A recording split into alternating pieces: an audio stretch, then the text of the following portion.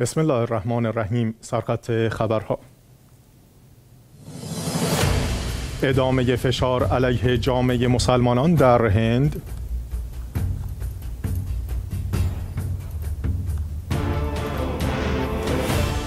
گزارش جدید سیگار. کمک های آموزشی آمریکا به جیب طالبان می رود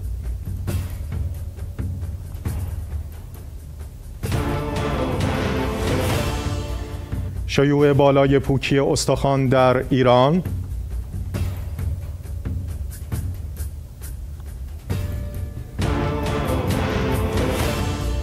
و افزایش نگرانی ها از اخراج اجباری مهاجرین افغانستانی از پاکستان.